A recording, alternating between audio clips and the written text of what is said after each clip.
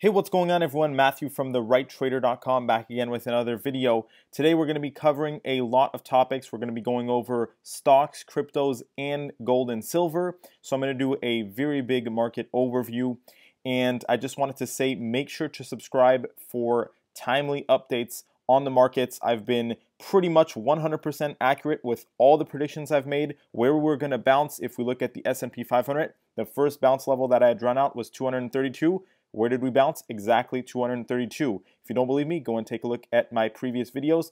I was spot on. Now, that's not to say that we might not fall lower, but for now, I think we've finally found a bit of stabilization. And I actually think that in the next couple days, maybe the next week or two, we're actually going to start to see some moves higher. Now, we might still get some moves, uh, you know, that are kind of up and down, but for now, in the shorter term, we're finally seeing some stabilization happen across not only stocks, but crypto as well. If we go ahead and take a look at the general market overview, we're seeing a lot of green finally. So I'm very happy to see this. Bitcoin now at $6,200, up 15%. Ethereum up around 17%.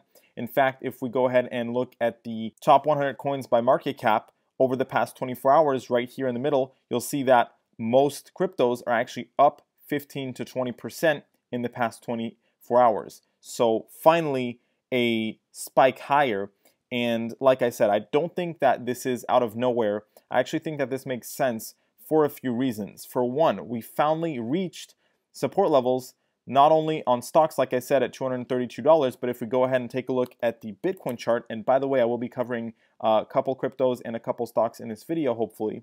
But if we go ahead and take a look at the Bitcoin chart, you're going to see that, like I had said, we were going to bounce around $4,800. We did uh, very shortly drop a little bit below that, but overall the bounce level was at 4,800, right? This uptrend line right here, and we bounced off that. Now we're moving higher, we're back above the 30 line on the RSI. That is an extremely bullish sign. Uh, I should actually draw out our downtrend line on the RSI, and we need to watch for a break uh, above that, which, you know, we're almost breaking above it right now as we speak. So uh, that will be a even better sign if we exit this downtrend on the RSI. We also see the MACD that's starting to curl back up to the positive area.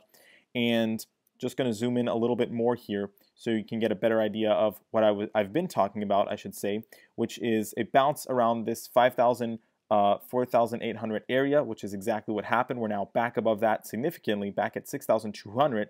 And what did I say after that? I said that we're going to get some up and down price action for a while actually could last uh, into 2021, April 2021. So this could last a full year of just up and down price action. But the plus side is that uh, there's a fair chance that we won't be falling any lower, at least until we reach this area here, at which point, I mean, who knows what could happen? It could fall lower or higher. I would hope and think that we have every chance to move higher after that, but at least we should not be falling lower, right? And it's pretty clear at this point that, I mean, if we go back below $5,000, then there's very much a reason for concern, and we could be heading down to $3. I don't see that happening. I think that we're just going to start stabilizing and consolidating for quite some time. On this bounce specifically, it looks like we could get back up to the white line, which is the middle Bollinger Band, a very typical area to bounce back at, and we already have some support and resistance over there. So that would be around $7,267, which is right around the middle of our symmetrical triangle pattern. Let's quickly take a look at some news headlines. Now, what we just saw today is that Trump announced uh, some promising advancements for medicine, and I actually did my personal research on this medicine a few days ago. It looks very promising, so I think that we're going to start to see finally some good developments as far as that is concerned, and that is going to be good for you know all the markets in general, I believe, right? So we're seeing finally some good headlines. Also, bouncing uh, higher is oil. So that is very good as well. Now let's go back to the charts here and let me go to the SPY ETF, S&P 500 ETF. And I'm just going to do a bit of a recap here of what we're seeing. Now, like I said, for a bounce for stocks is something that I expect. Now, how high are we going to bounce? That is a little bit trickier for stocks because I don't see, I mean, unless things are really good, stocks necessarily jumping all the way back up to 284 on the SPY ETF, right? That would seem a little bit high for what's going on. I mean, bouncing to 250, that would make sense. Even a little bit higher, maybe 260, that's still reasonable. After that, it gets a little bit harder, and it also depends how long are we going to stay in this range between you know 232 and let's say 270 dollars. I think that we could stay in here for a while, but we could also you know move lower like I had said in the past. So as far as that is concerned, I mean it's pretty straightforward. Any move below 232 dollars again is going to start to push us closer to that 200 dollar mark, at which point we can expect an even stronger bounce. For now, though, we're looking at more of, you know, maybe a slighter bounce and some consolidation. Individual stocks, however, could bounce higher, as we've seen on the market overview, right? I mean, we're seeing some stocks bounce only 1 or 2%, and then in certain industries, like some of the rights that I purchased, they're up 15%. And if we go ahead and look at my Twitter, which I've been talking a lot, make sure to follow me there because I've been very active posting a lot. We're going to see that um, I purchased at the perfect time. I bought Realty Income, which I've talked about a lot of times on this channel. I put my money where my mouth is, and it uh, bounced, you know, almost 20% today. So huge bounce. Uh, I also bought a uh, other dividend uh, ETF, which uh, has been pretty stable. And you know, I bought a few shares of for just a couple hundred dollars. Um, but they, they announced that they were stopping their dividends, so I sold out of that pretty quickly because I'm really looking for dividend stocks right now.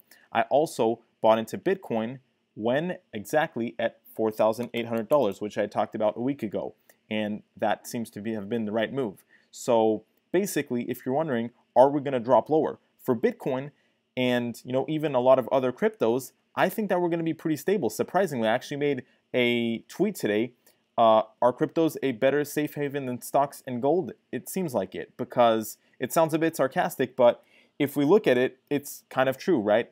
Uh, stocks fell a tremendous amount.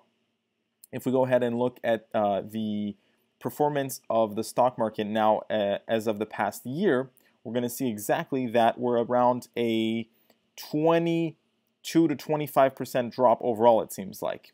And, you know, just a few days ago, we were at even more than that. So that is comparable, I'd say, to the drop that we had seen uh, in crypto on that big day where we fell, you know, around 40%. But you have to keep in mind, we're comparing cryptos and stocks, and right now, stock, uh, cryptos have been more stable as of the last couple days. I mentioned this on Twitter. They've been more stable and have even bounced higher today than, than stocks. So that's something that is pretty significant, right? I talked about it right here. I said that uh, SPY futures were falling over 4% last night. Uh, they've been completely up and down. You know, futures have been either jumping up higher or completely crumbling. And then the next day, we either see, you know, one or the other, but it's been a lot of up and down basically. For cryptos, however, since we got that bigger drop, they've been pretty stable and we actually saw them move significantly higher now. So if you look at it like that, some might say that the stock market is even more manipulated than crypto and I mentioned how free market is the best market. I think a lot of the positive market moves that we've seen in crypto, although we did see a big drop that one day, is due to the fact that it is, you know, mostly deregulated and is pretty pure form of a free market, which is arguably not the case with the stock market where they're activating trading halts uh, every other day. So as far as gold is concerned, which is something that I've been talking about as well, some of you might be interested uh, because I have purchased some gold just as a sort of defensive uh, protection mechanism. You can see a picture of that on my Twitter. Uh, it's pretty cool just to have you know that backup there.